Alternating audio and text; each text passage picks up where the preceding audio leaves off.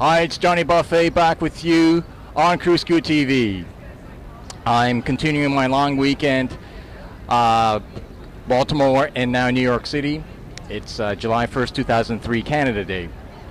So I'm here with Ron from Philadelphia, and we're uh, some soup. Actually, I'm just about to sit down and have some soup. We're uh, under the um, the canopy. Uh, we're uh, covered from the rain, and I uh, happen to luckily snag a, uh, a seat, a dry seat, so I can enjoy my soup sitting down, and I get to uh, talk to my, my uh, to my sleep. So, Ron, I gotta gotta ask you first the most important question, at least for me. Oh, that's great. Now wait just a minute. This is the most important question. You're going to ask me the most important question. I want to hear because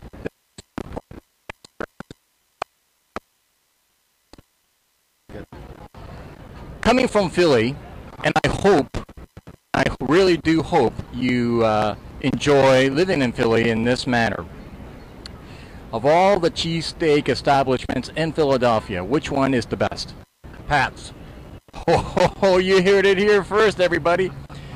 Pat's is in South Philly at the corner of, uh, is it 8th or 9th? It's 8th. 8th and uh, Passyunk, Wharton Way. That's exactly right. That's where it's at. Now, what makes Pat's better than Geno's? Well, it's it's the cheapest. The cheapest meat? The cheapest. I suppose they they got to make a profit, and so I'm sure it's expensive meat, and that's why, though because it's cheap. All right, but in terms I mean, of if you're looking at the best cheesesteak, yeah, we're talking the best cheesesteak I it's all. don't go to- All right, now are you recommending Geno's? Are there any other places?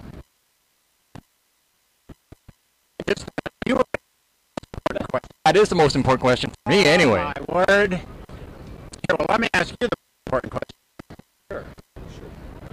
What, when you look around at New York City and uh, all of these people here who represent uh, Tours, a lot of a lot of tourists. They represent a lot of nations from all around the world.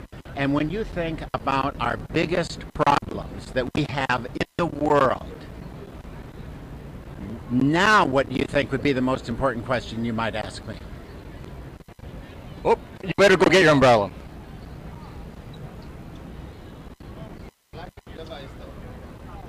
Oh, thank you. What's your name? My name is Abraham from Africa, Senegal. I'm uh, working for Gray Line Sightseeing for the double deck bus tour. And we are here to welcome each tourist from all over the world. Yes, sir. All right, well, it's uh, nice. Uh, well, you know, uh, a little plug for Gray Line of uh, Gray Line of America. How much is a tour? Okay, we sell the two days pass for $59. That's make you to enjoy downtown, uptown Brooklyn and the night tour. And either two, you can visit the Yankee Stadium with the same package for $59. And we welcome all the tourists. We are very nice and you feel free to ask us all direction and whatever you want in New York City. Okay. thank you. Okay. Okay. So back to our most important question. Right. Let me ask you a question. Have you ever read Soren Kierkegaard? You know who that, you know that name, Soren Kierkegaard? No, I don't want to take too long. So I, I just, um, I, I think I thought the most inque- most important question, other than the best cheesesteak in Philly, would be out of the two soups that we're gonna that I'm about to have. Well, I'm gonna. Have, you're already having another. What kind of soup is that? This is, this is lentil soup. Lentil. Lentil. Lentil soup. Where did you Where did you get that? Uh, right around the corner at the uh, deli, down by the Edison Hotel. All right. So do you know the name of the deli? No, I don't know the name of it. Okay.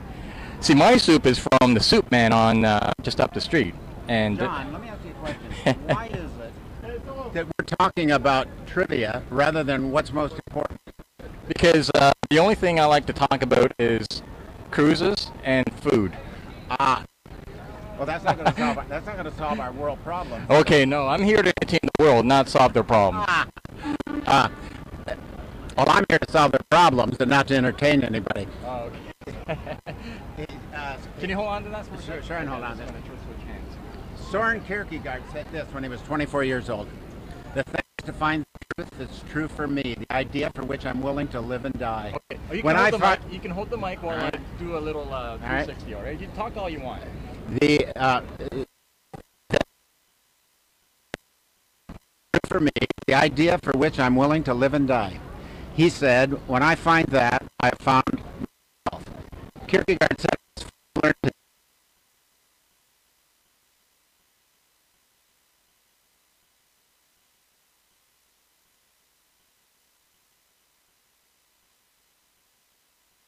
do not know themselves, do not know that they do not know. Around Times Square here, how many of these people do you think know what they're willing to live and die for? That's the most important question. I'm just about to have my soup. So the most, inqu- most important question Is at the moment willing to live and die for. is, the, is the soup going to be good or bad? You, you can you can see that John and I aren't aren't thinking about the same problem, right, John? It's a good thing I'm sitting down because it wasn't. My knee, my knees just fall from weak knees. Whatever Elaine had, whatever problem that Elaine had on that episode, I would have the same problem. But anyway, whew, that's a good soup. John. You know, uh, Ron, we gotta go. Uh, here, last question, John. Yes. Socrates, famous for two words. Did you say Socrates? Socrates? Uh, Signing off with John. All right, and uh, and Ron, uh, thanks for uh, thanks for joining us. It's Johnny Buffy from Times Square with Ron. We'll be back with more right after this.